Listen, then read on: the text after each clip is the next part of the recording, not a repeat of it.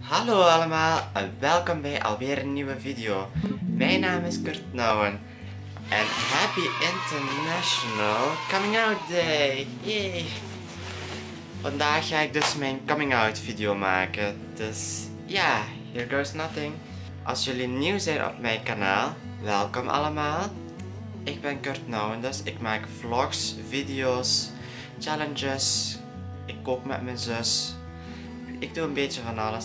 En als jullie graag op de hoogte willen blijven van mijn nieuwe video's, dan kunnen jullie je hier gratis beneden abonneren om op de hoogte te blijven. En we zijn bijna bij de 50 abonnees, nog één abonnee en dan heb ik er al 50.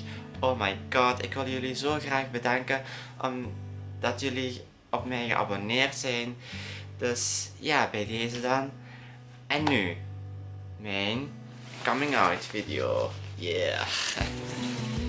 Dus ja, ik ben homo eigenlijk. Misschien hebben jullie dat al gemerkt in sommige video's van mij, hoe dat ik eigenlijk deed. Ja, en degenen die mij kennen, die weten dat ik homo ben. Dus ja, bij deze weet iedereen het dan. Ja, sorry, nu moet ik heel eventjes nadenken hoe dat mijn coming out was geweest. Want ik ben uit de kast gekomen sinds 2015, toen ik naar het volwassen onderwijs ging.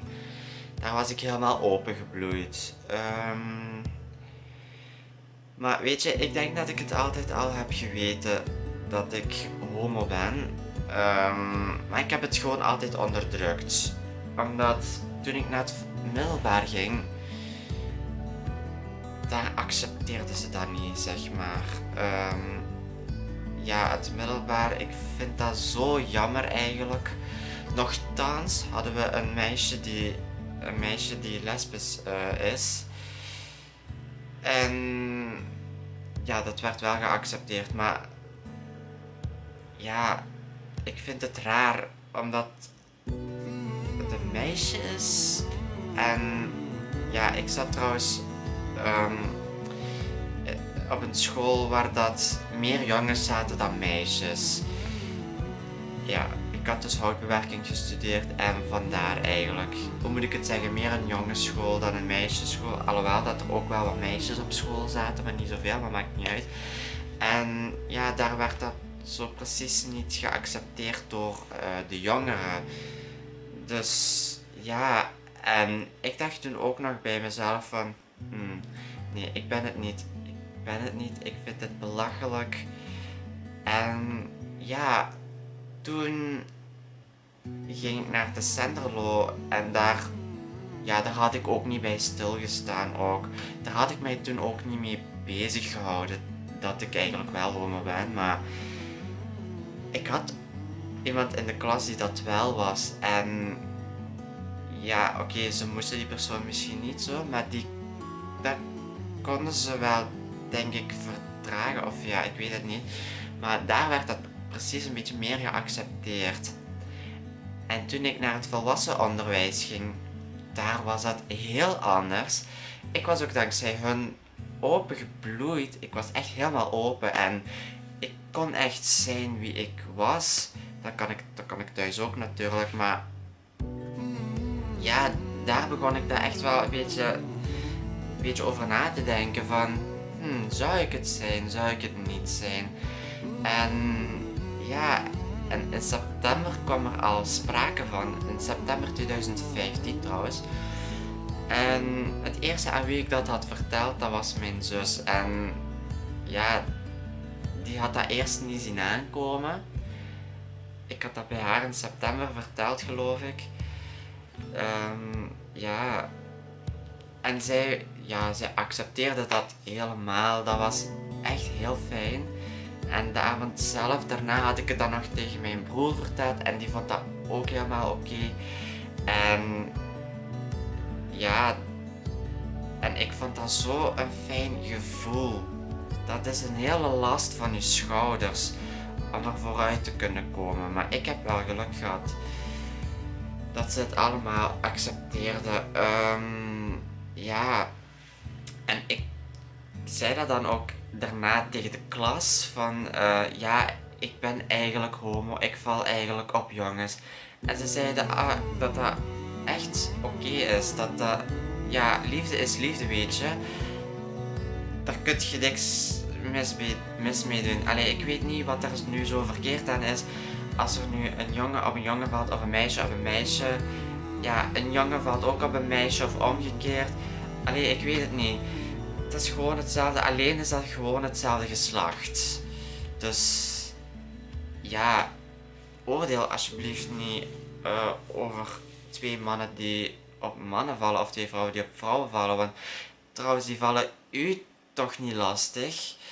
Dat uh, vind ik zo raar en zo erg. En het is niet omdat jij daar vies van bent. Eigenlijk hoef je daar zelfs niet vies van te zijn. Want allee, stel je voor als hetero. Ja, je, die, die persoon die homo is, dat wil niet, niet zeggen dat die op je geld of zo. Want ik denk dat sommigen daar zo naar kijken en dat moet je absoluut niet doen. En dat is verkeerd. En ik, de wereld zit zo niet in jongens. En dat is net zoals. Ja. Anyway, ik, ik wil gewoon maar zeggen: liefde is liefde. En daar kies je echt niet voor. Het is geen ziekte. Het is niet erg. Als valt je op beide geslachten, het is helemaal oké. En ja, ik vind dat zo jammer. Echt zo jammer dat, dat zulke dingen gebeuren in de wereld. Maar anyway, um, terug over uh, mijn coming out. Um, ja, ik, ik heb altijd geluk gehad met mijn coming out. Um, ja, dus het laatst had ik dat dan daarna aan mijn klas verteld. En ik had daar zelfs een paar mensen die lesbisch waren, die biseksueel waren. Ja, ik zat wel met meer meisjes dan met jongens in de klas, maar dat maakt niet uit. En die hadden dat allemaal geaccepteerd. En dat was echt een last van mijn schouders. En eerst durfde ik dat niet aan mijn ouders te vertellen. En ik weet ook niet waarom eigenlijk. Um, ja, daarna was het dan, ik denk oktober, november, ik geloof november, ik weet het niet meer zeker. Daar had ik het tegen mijn ouders, dan eerst tegen mijn mama verteld.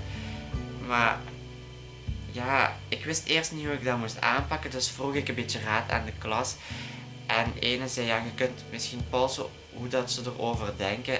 En het gekke is eigenlijk, mijn ouders hadden altijd gezegd, het maakt niet uit met wie je thuis komt. Al komt je met een jongen thuis, al komt je met een meisje thuis. We willen gewoon dat je gelukkig bent. En dat doet ook heel erg veel. Dus je werd er gewoon heel open over. Um, ja, dus... Ja, ik zei dat dan tegen de klas. En ja, ik had dan daarna besloten om dan gewoon, heel grappig, in het kort te zetten. Van, um, ja, ik ben homo. Maar ik was er, ik weet het niet waarom, maar ik was er precies nog niet klaar voor om dat te vertellen. En op, de, op een gegeven moment had ik de moed bij elkaar geraapt en had ik het dan gewoon op een papiertje geschreven. En ja, mijn pap, het was s'avonds en ik ging naar bed. Ik dacht, nu moet ik het vertellen, nu moet ik het zeggen. En ja, ik had het dan gewoon op een papiertje geschreven. Ik had het een beetje moeilijk ook vond ik zelf. Al ja, niet dat ik een tranen barst of zo. Ik had gewoon de bibbers, zeg maar, om het gewoon te vertellen. Um, ja, ik liet het papiertje dan aan mijn mama zien. En mijn mama, haar reactie was: Zit je homo? En allee, op een goede manier dan. En ze had dat. Allee, ze zei eerst tegen mij van. Allee, dat wist ik niet. En ja, en ik had dat papiertje dan op mijn papa zijn plaats gelegd. Allee, aan, aan tafel dan, zodat hij de volgende ochtend dan dat kon lezen. En jongens, echt waar, ik weet echt niet waarom. Ik had zo schrik voor zijn reactie. En hij kwam thuis dan, want alleen de volgende dag, ze hadden gewinkeld, dat weet ik nog zo goed. Hij kwam thuis zei zo van, en heb je mijn papiertje gelezen? Hij zei, ja, ik heb het gelezen. En ik zei, wat vind je ervan? En dit vind ik een juiste reactie van hem. Hij zei, eigenlijk doet het er niet toe wat ik ervan vind. Als jij gelukkig bent, is dat het allerbelangrijkste. Hij zei wel een beetje grappig van, ja, ik zou daar niet voor kiezen, maar het is niet mijn leven, het is jouw leven. Als jij graag met een jongen thuis komt, als jij graag, als jij gelukkig bent met een jongen, dan is dat zo. En kijk, en dat vind ik een heel mooie reactie en dat doet zo deugd. Alle last viel van mijn schouders. Maar, en dan zeiden mijn ouders, van ik zou dat nog niet aan de familie vertellen. Want we weten niet hoe dat die gaan reageren. Maar eigenlijk, uiteindelijk, iedereen had het geaccepteerd. Ik had het eerst dan verteld aan mijn mama's kant. Vonden dat allemaal fijn, allemaal oké. En dan aan mijn papa's kant en daar ook allemaal. En zelfs aan mijn bomma. En mijn bomma is een beetje van, hoe moet ik het zeggen? Van de oude stempel. Ja, ik weet het niet zo heel goed hoe ik dat moet uitdrukken. Maar ja, anyway, het maakt niet uit. Ik dacht zelfs dat mijn bomma dat niet zou kunnen hebben. Eerlijk, ze was er heel erg open naartoe. Dus dat vond ik ook wel heel fijn. Want ik had toen in dat jaar, toen ik dat vertelde, in 2016 dan, had ik dan ondertussen een vriendje gehad. Het duurde maar zeven maanden, maar maakt niet uit. En ja, ik had toen een armbandje met zijn naam op, dat weet ik nog heel goed. En ja, daar had ik dat zo prongelijk laten zien. En toen zeiden ze, ja, wie is die persoon? En ik zei, ja, dat is mijn vriend eigenlijk. En ja, en toen die dag had ik dat dan ook verteld aan mijn grootmoeder. En ja, ze was er gewoon heel open over. Ze was niet kritisch of zo. Ik, ik had daar wel... Ik had het gevoel dat ze dat ging doen, maar het was helemaal niet zo. Dus uiteindelijk, bij mij, ik heb heel veel geluk gehad, moet ik zeggen. Ik heb zo'n geluk gehad dat iedereen van mijn familie, en trouwens mijn vrienden ook, dat allemaal accepteren. Dat is gewoon wie ik ben. En ja, ze accepteren mijn karakter, ze accepteren wie ik ben. En dat is gewoon het belangrijkste. Ik blijf gewoon mezelf, ook voor mijn coming out. Dus het is niet dat ik drastisch uh, verander of zo. Nee, ik ben gewoon wie ik ben en ja, dat zou iedereen eigenlijk moeten zijn. Ook al zijt je hetero, zeg, zeg gewoon wie je bent. En ja, kijk, dat is gewoon het belangrijkste eigenlijk. Dus ja, en ik vind het dan in de maatschappij in sommige landen zo erg bij homoseksualiteit bij homoseksuele mannen dat ze er niet voor durven uitkomen omdat ze anders uitgemoord zouden worden. En dat vind ik zo verschrikkelijk. Of dat wordt er uitgeklopt of, je, of die gaan naar de dokter of weet ik veel. En dat maakt u zo boos.